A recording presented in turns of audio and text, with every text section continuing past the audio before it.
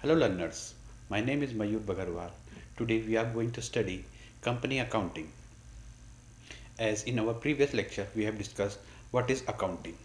In today's lecture we are going to study meaning of company, definition of company accounting, features of company and kinds of companies.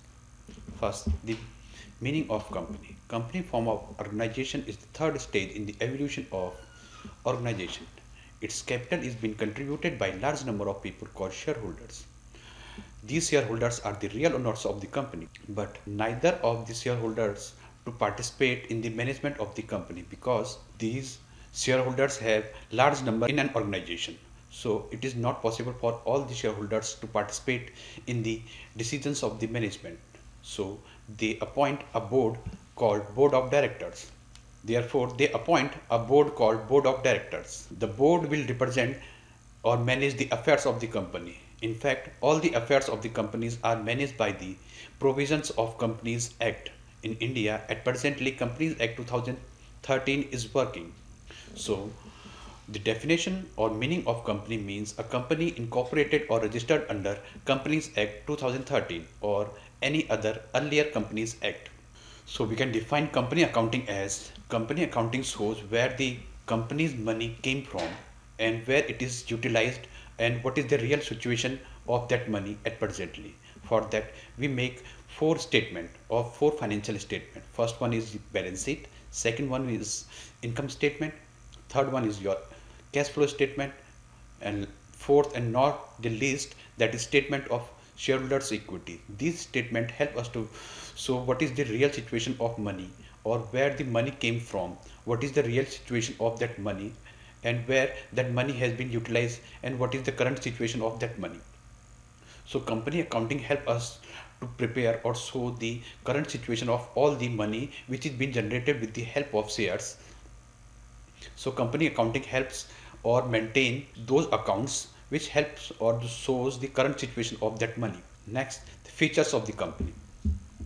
As we have discussed that company is an artificial person means it is being created by law. It is being separated from its member. Its entity or its existence exist uh, separate from its member called shareholders. So company is a artificial person. The first feature is the body corporate. Body corporate means the mm, company is being created by law. It has different features. Company and the com uh, members of the company are separate from each other. In second feature we are discussing the same thing the separate legal entity. Separate legal entity means the company and the members of the company called shareholders are different. Even all the assets are being managed or maintained by company in itself. Even the company can maintain or open its uh, bank account with its name. Limited liability. Limited liability means the liability of the members of the organization or the company is limited to the shares held by them. Means जितने भी shares होते हैं company के द्वारा issue किए जाते हैं, वो अगर किसी शेयर होल्डर के द्वारा हेल्ड किए जाते हैं, उनको उनने क्या कर रखा है परचेज कर रखा है तो लाइबिलिटी जो शेयर्स की है, वो लिमिटेड है शेयर्स जितने उनके पास हैं। Even the company get bankrupted अगर कंपनी बैंक करप्ट भी हो जाएगी इवन देन द मेंबर्स और the shareholder does not pay a single पैसा फ्रॉम देयर पॉकेट अपने जेब से उन्हें एक भी पैसा देने की ज़रूरत नहीं पड़ेगी under companies form of organisation fourth feature is perpetual succession perpetual succession means company exist even the members or the shareholders uh, being transferred their share to anybody or uh, they does not exist in this world. Means ये feature ये कहना चाह रहा है company की existence क्या है created ये लॉ के द्वारा क्रिएट की है अगर शेयर्स शेयर होल्डर्स अपने शेयर्स को ट्रांसफ़र भी करते हैं तो भी उनके सक्सेशन में उसकी एग्जिस्टेंस में कोई भी फ़र्क नहीं पड़ता common seal next feature is common seal common seal means तो we have discuss that company is a artificial person वो अपने हाथ से तो साइन नहीं कर सकती है। तो कंपनी के लिए कंपनी के सिग्नेचर के फॉर्म में हम क्या बनाते हैं? एक सील बनाते हैं। That seal will act as a signature for that company next feature is transferability of shares transferability of share means the shares of the company can be transferred from one person to another if any shareholders want to sell their shares they can sell their share in secondary market these rules or regulations are been already been discussed in articles of association in companies rule book the last point may be sued or be sued ये ये जो feature है ये कि ये कहना चाहता है कि कंपनी एक क्या है आर्टिफिशियल पर्सन है जो कि किसके द्वारा बनाई है लॉ के द्वारा क्रिएट की गई है अगर कंपनी किसी कॉन्ट्रैक्ट में इंडल्ज होती है, कोई कॉन्ट्रैक्ट में जाती है, अगर उसको वो कॉन्ट्रैक्ट एज पर इट्स रूल्स नहीं मिलता है तो ये कंपनी अपने नेम से company by its name can sue वो उसको में केस कर सकती है और मे बी स्यूड अगर कोई भी पर्सन है या किसी भी कंपनी के साथ, कोई ऑर्गेनाइजेशन के साथ वो कॉन्ट्रैक्ट कर रही है, और उसके रूल्स और जो भी कॉन्ट्रैक्ट हुआ एज पर कॉन्ट्रैक्ट नॉर्म्स नहीं हैं तो that company also been sued in the court in next slide we are going to discuss kinds of companies. Kinds of companies are being discussed or separated into two parts. First one is limited by share and limited by people. Under limited by shares we are having companies limited by shares limited by guarantee or unlimited shares. Or under limited by people we are having public companies private companies and one person company.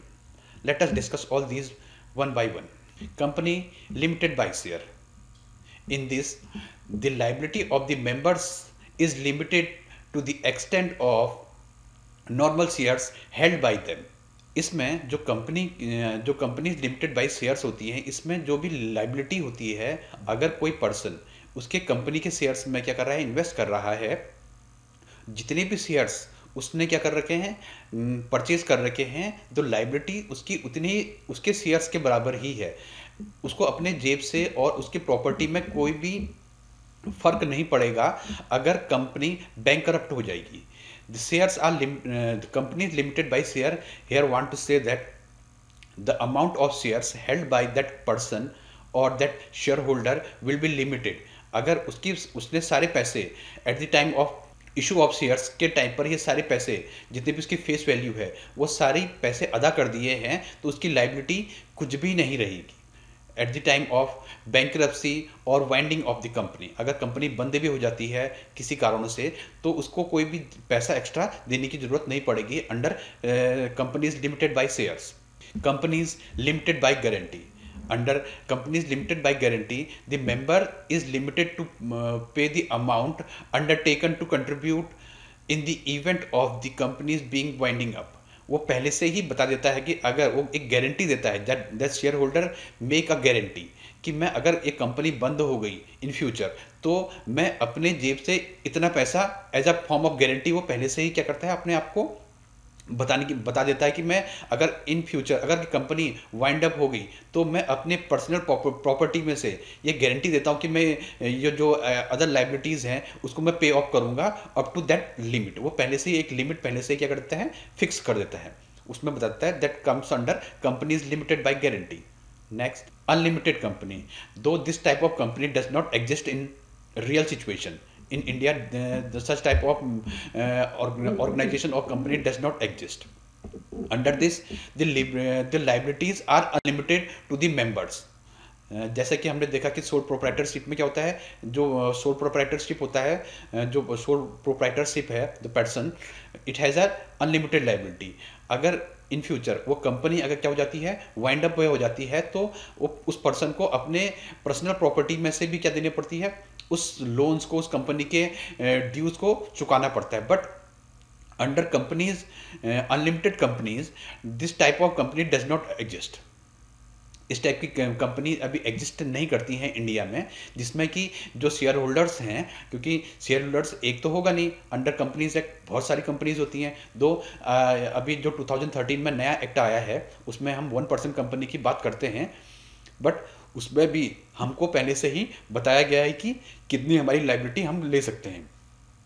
Next now on the basis of number of person number of person means कि हम, जैसे कि हमने अभी बताया कि हमारे अपने अपने शेयर्स के बिहाफ में हमने कंपनी कंपनी को सेग्रीगेट किया। अब हम नंबर ऑफ़ पीपल कितने पर्सन उस कंपनी में हैं?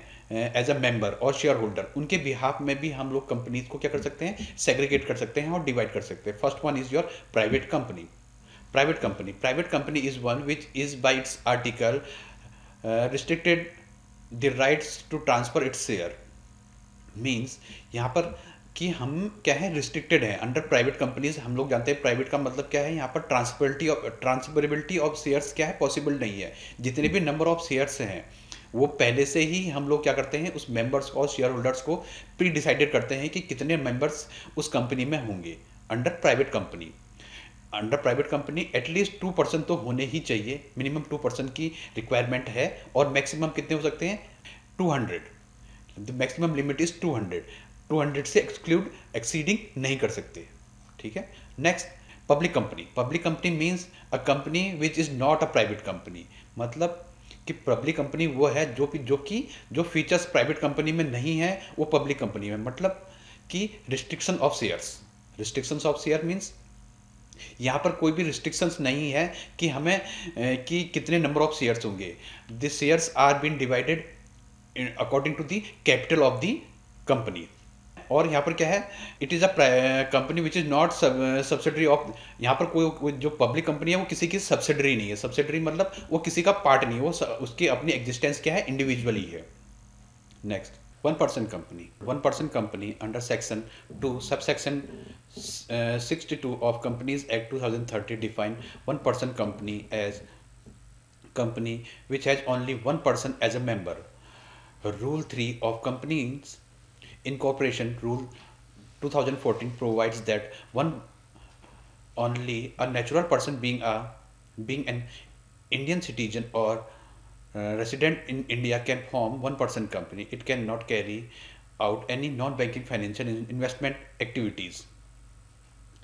Third point, uh, its paid up capital is not more than 50 lakhs and its average annual turnover of three years not does not exceed two 2 here यहाँ पर जो one percent company है, वो पहली बार 2030 में इनकॉर्पोरेट की गई है। पहली बार समझाया गया कि एक वन परसेंट जो वन पर्सन है, एक सिंगल पर्सन भी Indian citizen can form one percent company वो अपनी खुद की कंपनी बना सकता है।